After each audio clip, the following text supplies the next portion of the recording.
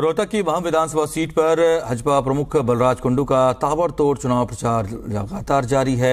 Ma'am हल्के में हजपा प्रत्याशी बलराज कुंडू लगातार मतदाताओं से जनसंपर्क कर रहे हैं। डोर टू डोर कार्यक्रम के तहत लगातार मतदाताओं से हजपा के पक्ष में वोट की अपील करते दिखाई दे रहे हैं।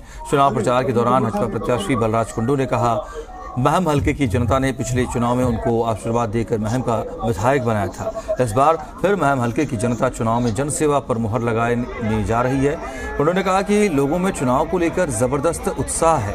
अब की बार मैम में एक तरफा माहौल चल रहा है। बलराज कुंडू ने कहा कि इस बार के विधानसभा चुनाव में मैम की जनता एक नया इतिहास रचेगी। परिवारवाद, लूट, झूठ और स्वार्थ की राजनीति को यहाँ की जनता नकार चुकी है। पूर्व मुख्यमंत्री भूपेंद्र सिंह हुड्डा और उसका बेटा दीपेंद्र सिंह हुड्डा हर रोज झूठ बोलकर रोज़गार देने का वादा कर रहे हैं।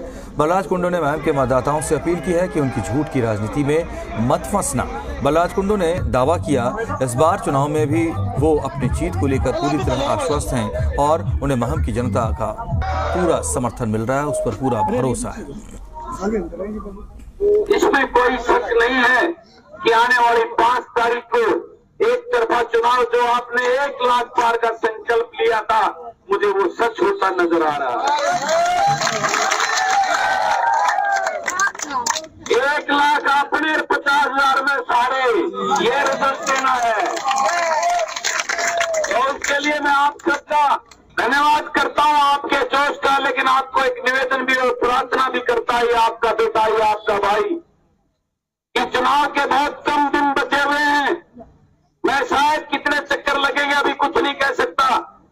लेकिन आपने खुद मेरा चाचा, ताऊ, चाची, ताई, भाई, भतीजा, भाभी, बेटी बढ़कर अपनी गली में चुनाव को लड़ना है। तैयार होना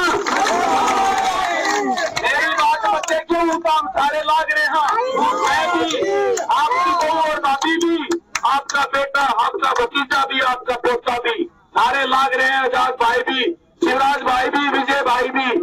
लेकिन फिर भी ना पोता धन्य मतमानियों द्वारा आया नहीं। तब मेरे चाचा साहु भाई बनकर उनको धर्म चले जाइए जिसके जाना हो।